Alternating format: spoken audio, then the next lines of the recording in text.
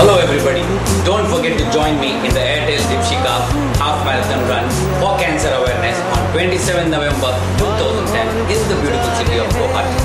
Cancer is curable if detected early. So let us all join hands in this fight against cancer.